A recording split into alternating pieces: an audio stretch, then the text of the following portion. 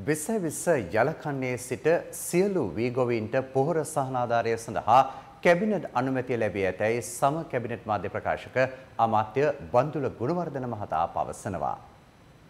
රටට අත්‍යවශ්‍ය සියලුම භාණ්ඩ කෘෂි නිෂ්පාදන සියල්ල රට තුළ නිෂ්පාදනය කිරීම සඳහා ඒ නිපදවනු ලබන ගොවි ජනතාවට ස්ථාවර සහතික මිලක් ලබා දීම සඳහා ඒ මිලට අලෙවි කරගත නොහැකි වන කෘෂි නිෂ්පාදන තියෙනවා නම් ඒ සියල්ල රජය විසින් මිලදී ගැනීම සඳහා පසු අස්වනු සුරක්ෂිත කිරීම සඳහා පසු අස්වනු තාක්ෂණය යොදා ගැනීම සඳහා ඈතේ පිට ගම්මානවල ගොවිබිම් පවා නව තාක්ෂණික ක්‍රමවේද අනුව අලුත් තාක්ෂණය හඳුන්වා දීම සඳහා ජෛව පද්ධති තාක්ෂණ වේදේ ප්‍රායෝගිකව ගම්මට්ටමට ගෙන යාම සඳහා විධිමත් වැඩපිළිවෙලක් සකස් කිරීම සඳහා කැබිනට් අනුමැතිය කෘෂිකර්ම අමාත්‍ය චමල් රාජපක්ෂ මැතිතුමාට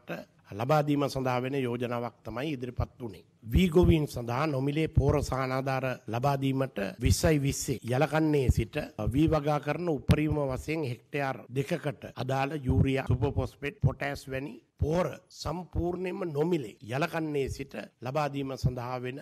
කැබිනට් පත්‍රිකාව ඊයේ දිනේදී ඉදිරිපත් කරනු ලැබුවා. ඉන්දයානු නය යෝජනා ක්‍රම යටතේ නව බස්වත පන්සියක් ගමනාගමන මණ්ඩලයට ලබා ගැනීම සඳහාද කැබිනට් අනුමැතිය ලැබුණු බව සබ කැමිනට් ප්‍රකාශක අමාත්‍ය රමේශ් පතිරණ මහතා පැවසුවා. ඉන්දයානු නාය යෝජනා ක්‍රමය යටතේ ඇමරිකාන් ඩොලර් මිලියන පහළව දස්ම තුනක වියදමින් නව බස්රත පන්සියක් ලංකා ගමනා ගමනට ගමනාගමන මණ්ඩලෙට ලබා ගැනීම පිණිස ඊය කැබිනට අනුමැති හිමි වුණා. එහිදී විශේෂයෙන්ම මගී ජනතාවට හිතකර පරිදි එම බස්රථ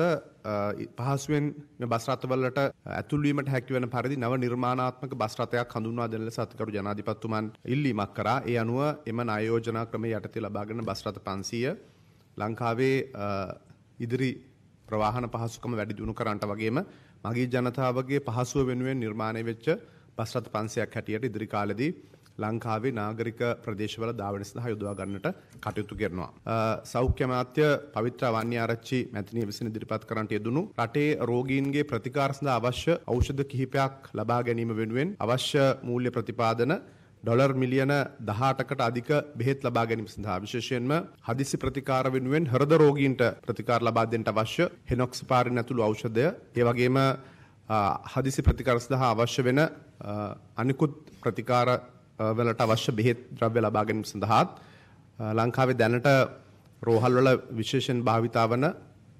නෝමල් සේලයින් ඇතුළු ඒ අන්තර් ප්‍රවාහන ඖෂධ වලට ලබා දීම සඳහා අවශ්‍ය කැබිනට් අනුමැතිය ලැබුණා. ඒ සඳහා වියදම් කරන මුදල ඩොලර් මිලියන 18ක් පමණ වෙනවා.